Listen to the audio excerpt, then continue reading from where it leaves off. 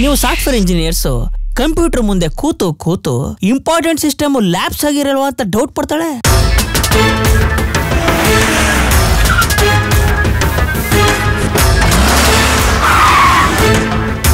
ಕೈ ತುಂಬಾ ಹಣ ಬರ್ತಾ ಇದೆ. ಅದನ್ನು ಸದುಪಯೋಗ ಮಾಡೋದು ಬಿಟ್ಟು bars and pubs, drinks and drugs ಮೂವತ್ತರ ವಯಸ್ಸಿಗೆ ಎಲ್ಲ ಮಾಡಿ ಬರ್ಂಟ್ ಔಟ್ ಕೇಸಸ್